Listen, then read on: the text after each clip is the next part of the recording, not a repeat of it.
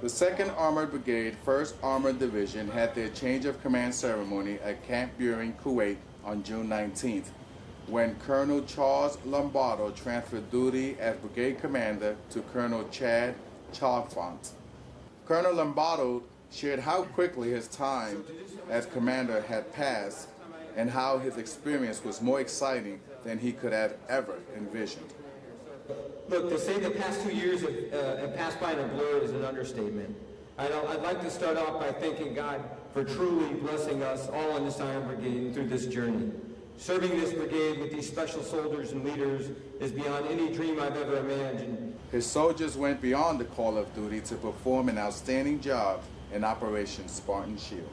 In OSS, you deterred regional aggression, you binded together a regional armor network in the Middle East through the proliferation of best practices and your professionalism in partnering.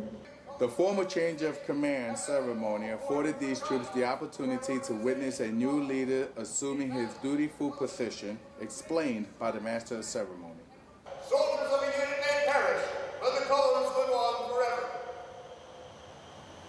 By authority of paragraph 2-5 Bravo, Army Regulation 600-20, the undersigned assumes command of the 2nd Brigade Combat Team, 1st Armored Division.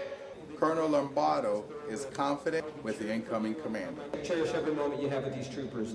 They are in the best hands and you will make them better every day. Thank you all. God bless all of you. Patton Zone, Iron Division, Iron Soldiers, strike hard. To the soldiers of the Iron Brigade, I am humbled and proud to join your ranks today. I know that our team will continue to earn its reputation of excellence as we train to fight and take care of our own. For Task Force Spartan News, I'm Master Sergeant Daniel Palermo.